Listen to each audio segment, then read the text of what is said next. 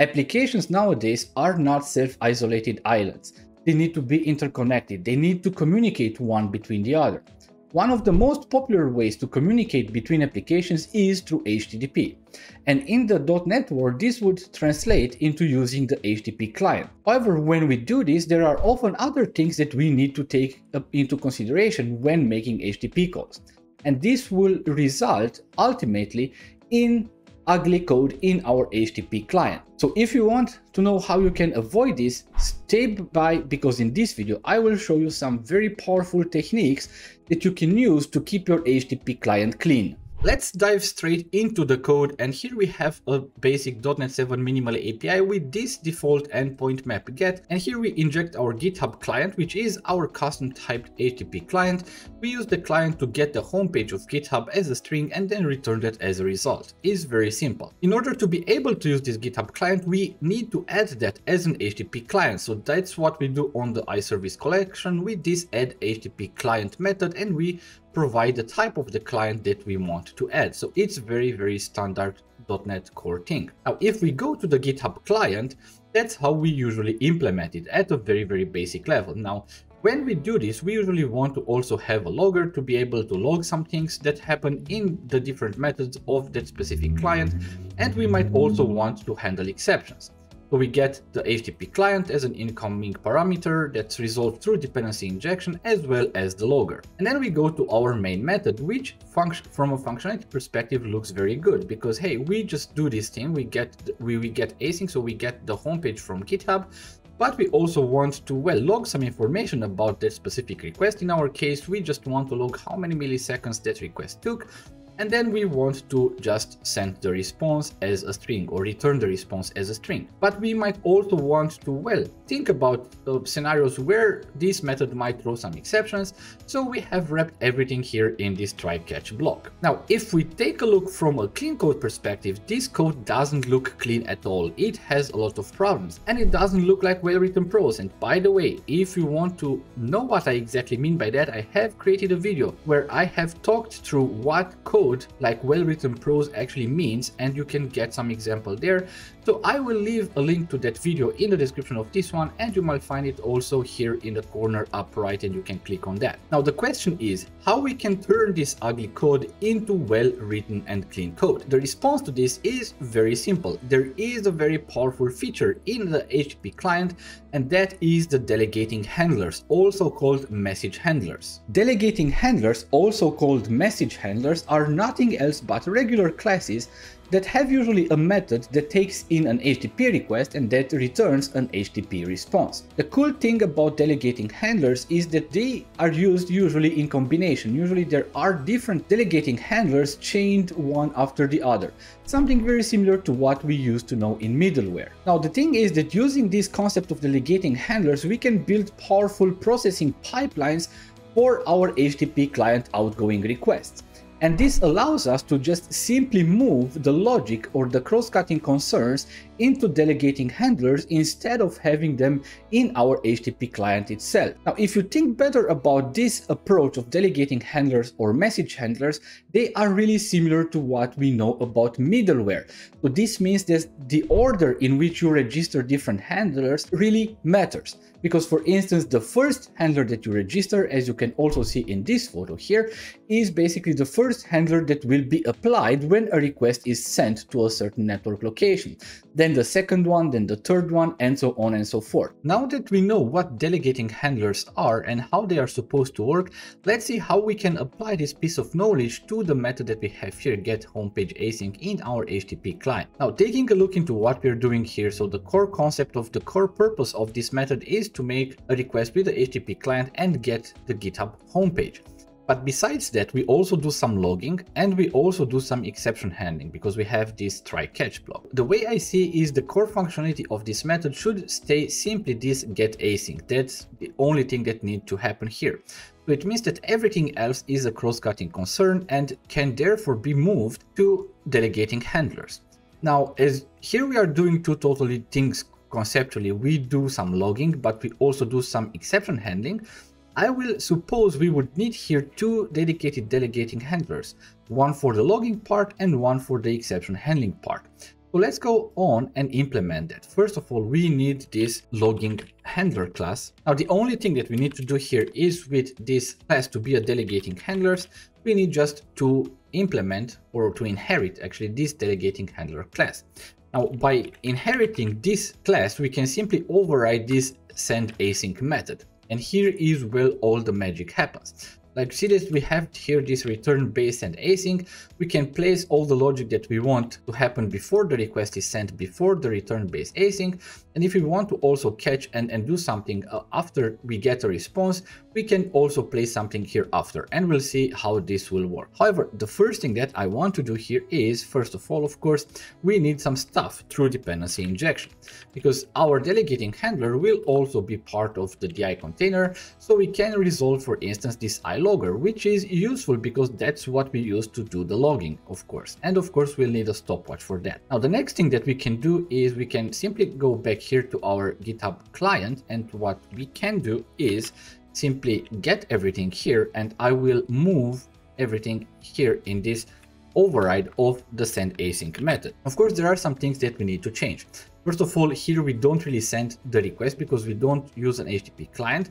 So instead, what we'll do here is we'll await sending the request further down the message handlers or the delegating handlers line until somebody gets a response, like somebody really executes that request and gets the response from GitHub. Now, after we wait that, we perform our logging logic, like stopping the stopwatch and logging the information and resetting the stopwatch. Of course, the only thing that we still need to add here, we need to remove this and we still need to return something because we might have, have other delegating handlers that are above us. So in that case, just like in a middleware, we might want to return the response because they might also want to implement some custom logic. So the idea is that here we don't return this base, base send async, but we return the response instead like this. And now this delegating handler is good to go. Now we just need to wire everything up together. And the first thing that we need to do is we will also need to add the delegating handler to the dependency injection container. And let's add this as a scoped and let's add the logging handler. Now, the only other thing to wire everything up together so that ASP.NET Core NAS does, does know that, hey, this handler, this delegating handler belongs to that specific HTTP client, the only thing that we need to do is add mes message handler. And here we can specify our logging handler. And of course, to make sure that we are still using our handler, last thing that we need to do here is just remove everything that we don't need anymore in our get homepage async method. So we need to delete everything that's related to the logging that we do here when we are sending the request. So it would be something like that that already looks much, much cleaner than that. Of course, we can remove this stopwatch because we don't need it anymore. The logger itself, we still keep it because we use it in the exception handling part and otherwise it wouldn't compile. Now we are really ready, so let's run the application and then let's perform a request via Postman to see exactly if our logging handler still works. So the application is up and running right now. Let's send a request we received the 200 OK, which is OK. Now let's evaluate what we have here. Of course, there are some, or there is some logging that has been performed by the HTTP client itself, like for instance, this one, system.net HTTP GitHub client logical handler that, that comes directly out of the box by the HTTP uh, client. But for instance, then this next one, you see that this is our custom delegating handler. And we see exactly the log that we have created, like sending the request to GitHub.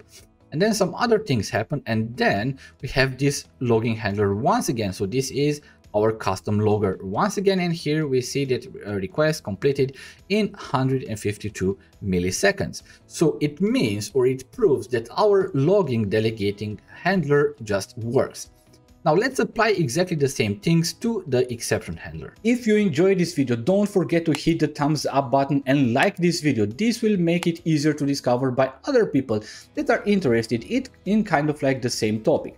Also, if you haven't subscribed to the channel already, please hit the subscribe button, also the notification bell, so that you are always notified whenever something new happens here on this channel. Also, please know that I have recently started another YouTube channel dedicated for self-taught developers, where I will tackle a lot of different topics around mindset and also technical topics, but not strictly related to .NET.